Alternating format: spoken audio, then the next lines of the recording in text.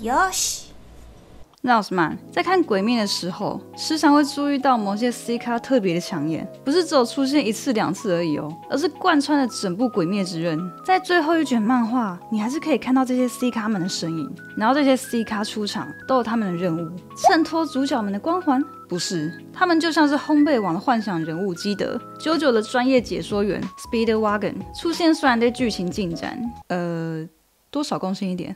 不要瞎掰好吗？但也不可否认，加入这些绿叶之后更有趣了。尤其是当你不知道他是谁，但他还是有超多镜头的时候，极致下来之后，你想不认识他都难。今天要来介绍的是《鬼灭》当中超有存在感的绿叶双人组春田 and 后藤。好的，身为一个绿叶呢，就是不能抢过主角们的风光。看这毫无朝气的死鱼眼，中分的发型，身上描一点花花绿绿的元素，完美 cos 了赖清德。按赞、分享、开启小铃铛。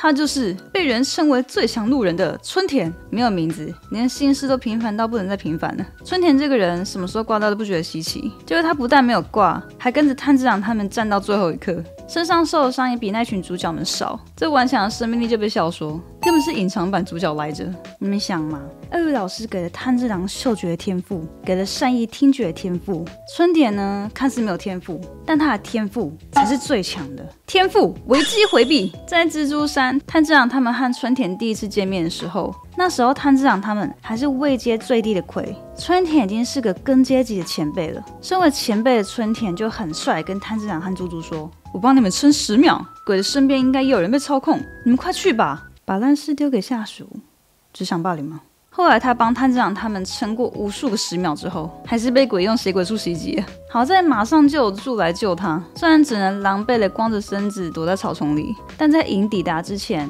都没有再遇到生命危险。所以说，春田主要是靠他的投机取巧和比别人强的运气吗？当然不是。春田用他一身的肌肉告诉你，他也是有在思考，也是有在努力的。肌肉是最不会骗人的，这边绝对没有在买什么肌肉魔法使的梗。因为我要讲的是另一位，同样也是身处于魔法世界却不会魔法的麻瓜雅斯塔，想要逆袭成魔法帝的故事。这部来自网评三点二分逆袭到九点五分的《黑色五叶草》，是一部拥有自成一格的魔法世界观、丰富的角色设定、热血王道的 Jump 系作品。雅斯塔有一句励志座右铭：绝不放弃，就是我的魔法。为此。每天锻炼自己的肌肉，以成为魔法帝为目标。而说到 Jump，就想到黄金三要素：努力、胜利，还有友情。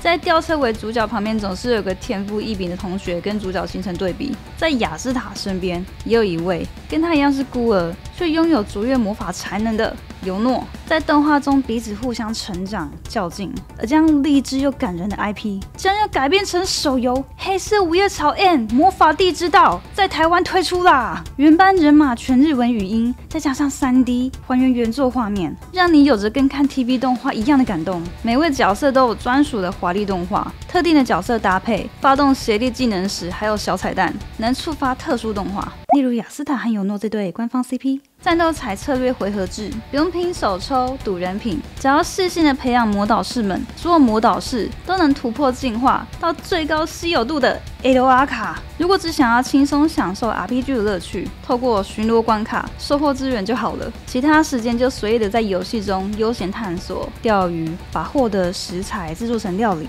融入在黑雾的奇幻世界中。听说近期即将要开启预登了，资讯栏的粉丝团连结可以先追起来，才能避免错过预登或。是上线资讯。春田的身世也是蛮悲惨的，家里的人都被无惨杀掉，他变成孤儿，加入鬼杀队训练，学习水之呼吸法。听说水之呼吸是最容易学习的呼吸法，但他使出水之呼吸时，几乎不会出现水的幻影。在游戏《鬼灭之刃》火神邪风潭帮忙还原这一段，超靠背的。没关系，即使如此，他还是通过了鬼杀队的最终选拔，活了下来。成为正式队员后，他拿到人生第一把日轮刀。日轮刀的颜色会根据使用者变颜色。春田的日轮刀是银色，这不是根本没变吗？没。关系，春田不放弃的继续在鬼杀队中努力着。他早就知道自己没什么能力，但在面对实力比他厉害的人时，也不会心生嫉妒。漫画后面有提到，春田和义勇其实是同期生。看着义勇已经成为柱，自己只有根，一般人内心会焦躁吧？但春田坦率的称赞对方的实力，照着自己的步调慢慢前进，内心素质非常强大。春田真男人啊！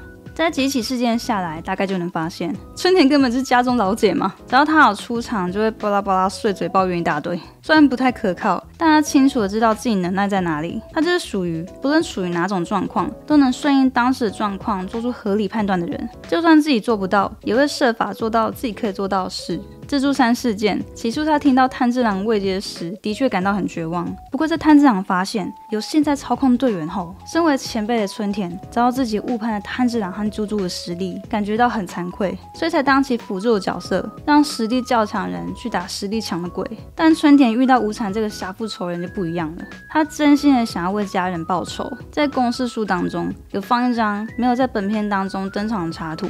画面中，春田失去冷静的吵着自己也要去战斗，结果被他的宋丫无情吐槽：“你就算去有什么意义？哭啊！连鸟都在说他没有用。”那在这部声优不用钱动画中，春田的声优该不会也是位超大咖声优吧？各位放心，鬼灭制作组还是有个标准在的，适不适合才是最重要的。春田的声优宫田信基配过死神的山田花太郎，看到下水眼中分黑长直的瞬间，懂了什么？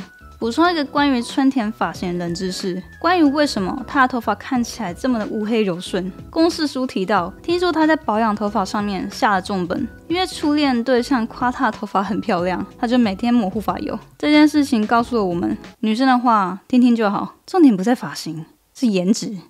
继春田之后，存在感最高的鬼面路人就是后藤了。春田和后藤这两个姓氏，相较于灶门、我妻，完全是个路人姓氏来着。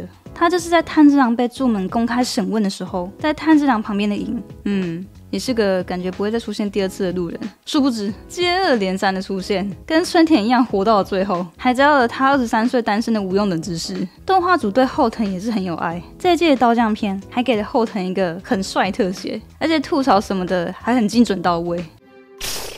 こいつはわけわからん。何これ？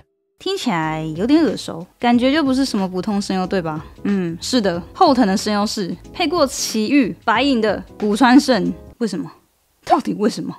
甚至在公式书当中都可以看到他的独立篇章。书中的后藤化身为记者，到地狱采访那些被鬼杀队队员们杀掉的鬼。就当我在想为什么是后藤的时候，后藤听到同伴们的呼喊，从晕倒中醒来。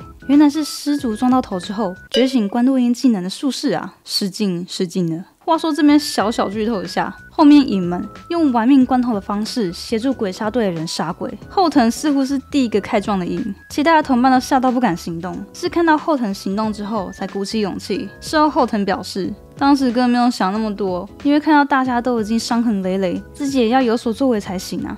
也是真男人呐，后藤。不要以为这两个人戏份就这么结束了。鳄鱼老师画的后日谈，他们的子孙也都有参与卡。无惨死后的一百年，故事的时间点转移到了现代。春田的子孙变成了爱训化的老师，后藤的子孙变成善一子孙的红雪，和族内的子孙讨论御史郎绘制的朱氏画像。不是，族内你还在啊？竹内虽然没有前两位来的有名，但在后期也是鳄鱼老师的干儿子。漫画中有幕是御史郎想要控制民女的脑袋，但拿下主导权过程非常的不容易。竹内看着御史郎这样痛苦的样子，就提出吃了我吧。如果那样能够打败无惨的话，在日本就被戏称非常食前辈，就是紧急用了储备粮食的意思。真男人呐！竹内这些绿叶的共同点都是毫发无伤的活到最后，也给了他们帅气的表现。主角反而瞎眼断手，所以就被笑成是史上最强的路人们。地方宅女良心制作，绝不脱稿，需要您的关心。如果喜欢这支影片，也可以给我超级感谢，小小支持我一下。我是马夏，再见，拜。